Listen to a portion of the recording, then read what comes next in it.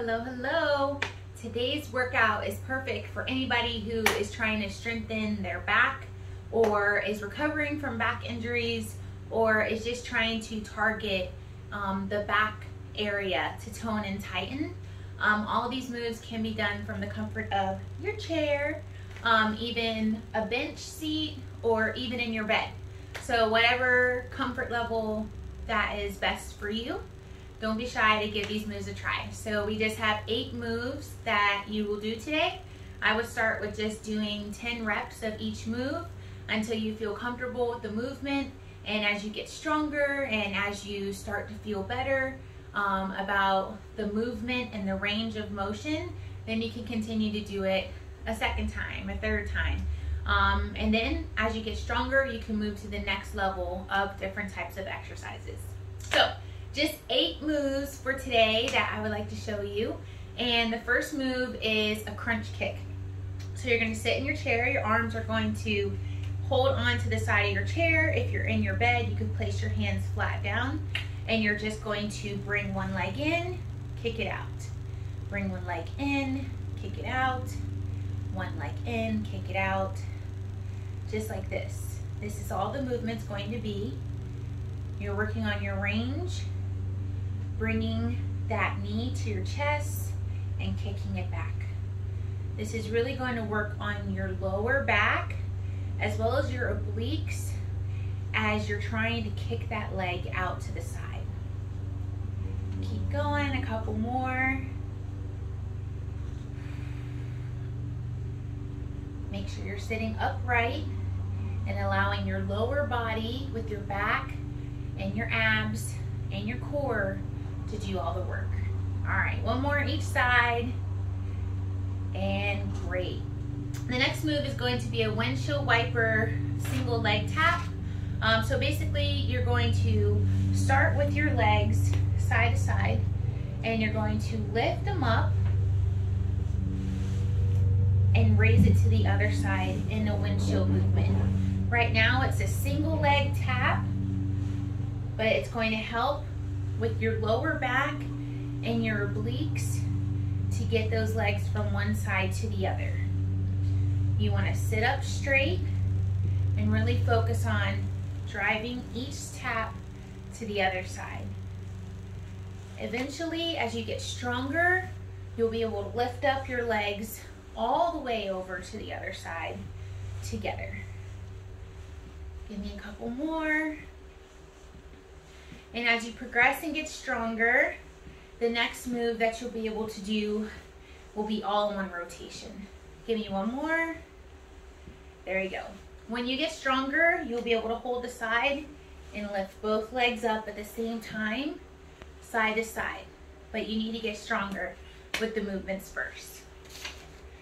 Next up, we're gonna do a single leg raise. So you're just going to lift it straight up and down. Straight up down, straight up, down. There you go.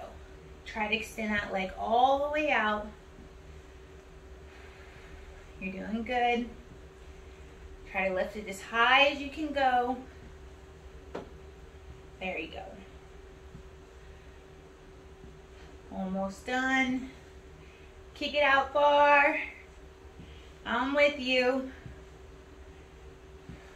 Three more each side.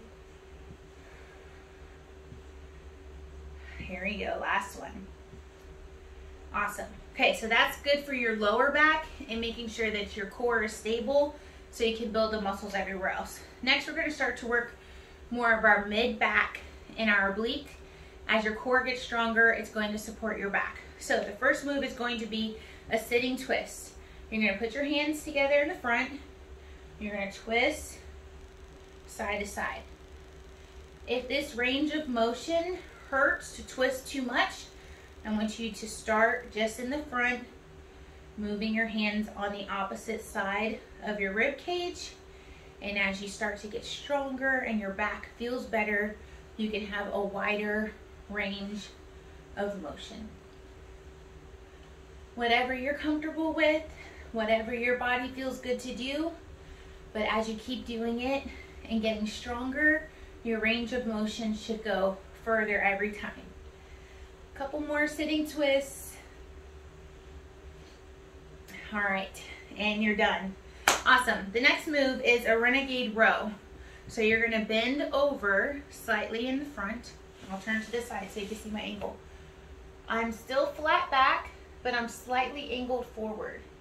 And I'm gonna pull my arms back and try to connect my elbows in the back. They're not going to be able to connect, but I'm gonna go reach in the front, pull back, okay? So we're gonna lean forward, chest up, head up, hands down to your side, and you're gonna row up, up and down. There you go. Try to pull those arms all the way back. Row it up. You got it. Yeah, five more. You can do it. Three, two, and one. Awesome. Okay, next move, you're gonna sit all the way up. You're gonna extend your hands above your head. You can interlock your arms and you're just going to do tricep extension. So you're gonna reach back, extend them all the way up. Reach back, extend them all the way up. This is going to help with your upper back and help your shoulder blades and your triceps to help with the work to support your back. You should have a slight arc as you reach those arms back in your chair, but then extend all the way up to the top. A couple more. Keep going. One more. And done. The next move is going to be a lawnmower cross body pull. So you're gonna put one hand on your hip, drop your other arm across, and you're gonna row it back. So reach down, pull that lawnmower string to get that thing started.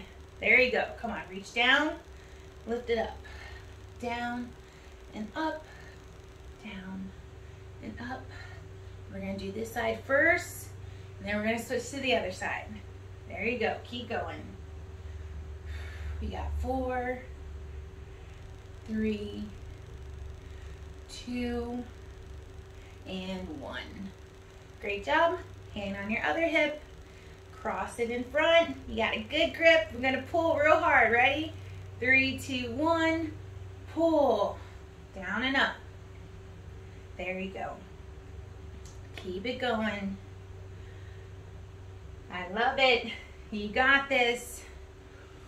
A lot of work can still be done, even in a sitting position. Few more, you got this.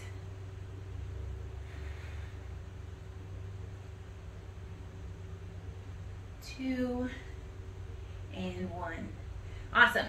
That was your crossbody lawnmower. Now you have the final move. You're gonna sit in your chair and it's just a crossbody front punch. You're just going to cross, cross. So you open your chest all the way up, arc your back a little bit, and you cross in front. So open, close. So you're doing a slight bend and a slight arc every time you crunch. There you go. This is doing your upper and your lower back at the same time.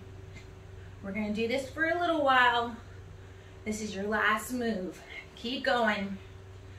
Arc, crunch, arc, crunch. You're almost done.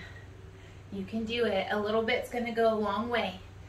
Here we go. We're gonna get stronger every day. Come on, keep trying it. All right, give me two more. One and two.